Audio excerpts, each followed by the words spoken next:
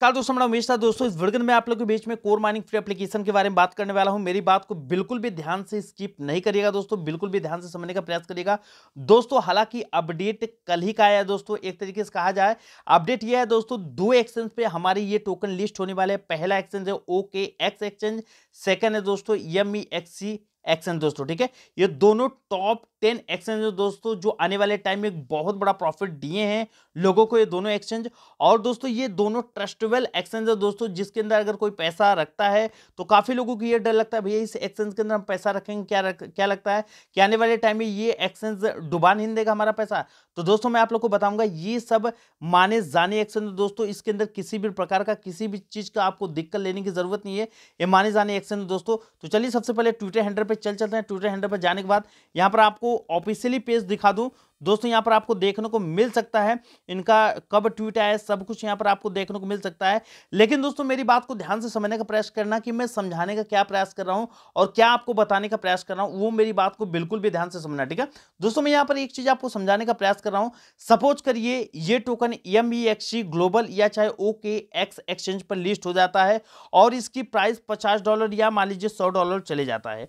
तो काफ़ी ऐसे व्यक्ति आपको मिल जाएँगे जिनके पास ज़्यादा क्वांटिटी के अंदर टोकन है, वो तो मान लीजिए बाय सेल करेंगे, उनको बात समझ में आता है। अभी इन्होंने खुद बोल दिया लगभग ट्वेंटी फाइव परसेंट जो टोकन रहेंगे, उसी को आप लोग विड्रॉल कर पाएँगे। लगभग सेवेंटी फाइव परसेंट जो टोकन रहेंगे, इसको विड्रॉल नहीं कर पाएँगे, इसको स्टेकिंग में रख दिया जाएगा।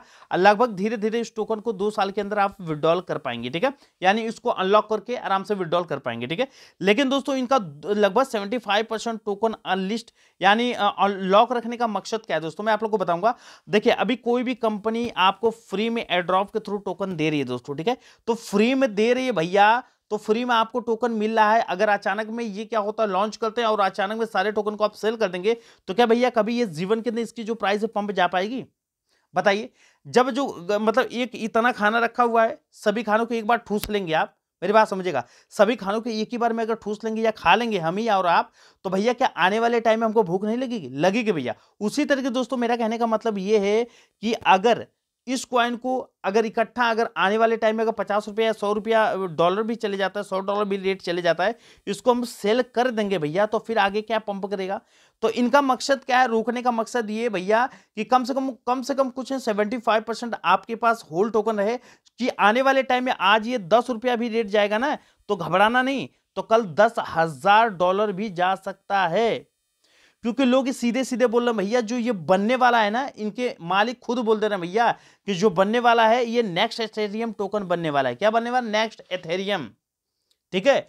पाई नेटवर्क का भी बाप ये टोकन है। मेरी बात समझो, अगर आपके पास दस, बीस, पच्चीस, पचास भी कोर माइनिंग है ना तो भैया समझो, अरबपति आप बनने वाले हो, अरबपति नहीं, लखपति, करोड़पति ज़रूर बन जाओगे। इस बात, मेरी बात को ध्यान से समझना, ठीक है? मैं क्या चीज़ समझाने का प्रयास कर रहा हूँ, ठीक है ये जो दो एक्सचेंज है, भैया ऐसे ऐसे एक्सचेंज के अंदर डायरेक्टली टोकन लिस्ट हो जाना इतना आसान बात नहीं है।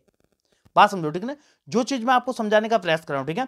तो मेरा कहने का मतलब भाई, मैं आप लोगों से यही नम्र निवेदन करूँगा, लगभग 25 परसेंट टोकन तो आप सेल करना, लेकिन सोच समझ के, मैं तो देखो गारंटी बताऊँगा, एक भी टोकन सेल नहीं करने वाला हूँ। अगर जितना टोकन मेरे पास रहेगा, उस टोकन को मैं बिल्कुल भी संभाल के रखूँगा, ताकि आने वाले टाइम में एक बड़ा प्रॉफिट मुझे दे दे पाँच साल या दस साल बाद। अगर मैं इस टोकन को पाँच साल या दस साल तक होल्ड करके रख दूँगा तो भैया सोने के भाव भी, हीरे के भाव भी बिकेंगे उस टोकन जैसे आज से कुछ टाइम पहले अगर बिटकॉइन के बारे में बात करेंगे दोस्तों तो आज से कुछ टाइम पहले बिटकॉइन आपको फ्री में, यानी फ्री का मतलब क्या है दोस्तों? एक फ्री ही मान लो सौ रुपये में करीबन पच्चीस पचास बिटकॉइन मिला करता था आज से दस साल पहले। लेकिन दोस्तों, आज के जनरेशन में एक बिटकॉइन की अगर वैल्यू के बारे में बात करेंगे ना, भैया बीस से पच्चीस लाख रुपया अभी चल रही है समथिंग ठीक है? बीस लाख रुपया खरीदने की हमारी औकात नहीं है अभी। मैं आपको नहीं बात कर रहा हूँ, अपनी खुद की बात करूँ भाई, ठीक है? अगर इंप्रेशन आप भी अपने ऊपर लेंगे तो आपको भी ये बात लगेगी, बात समझेगा। हमारी और आपकी औकात नहीं है अभी बिटकॉइन को खरीदने की, अगर आपकी हो सकती है, लेकिन बर वक्त हमारी तो नहीं है भाई। साफ़ साफ़ जो बात कहने का, ठीक है? एक बिटकॉइन की वैल्यू अब पंद्रह से बीस लाख के अराउंड में चल रही है, ठीक है? तो भाई ये बहुत बड़ी बात है, बात समझो, ठीक ना उसी तरीके दोस्तों कोर माइनिंग भी एक बहुत बड़ा प्रॉफिट आपको बुक करके दे सकता है, लेकिन भैया बुक करके कैसे देगा? अगर आप अपने टोकन को होल्ड नहीं रखेंगे तो। तो मेरा मकसद ये कहने का मतलब ये भैया, अपने टोकन को होल्ड करो, तभी आप एक अच्छा खासा प्रॉफिट बना सकते हो, ठीक है? सो गाइस अगर वीडियो थोड़ा भी आपको पसंद आई होगी तो वीडियो को लाइक चैनल को सब्सक्राइब ज़रूर करना। मिलते हैं अगले नेक्स्ट वीडियो में, तब तक के लिए टाटा बाय बाय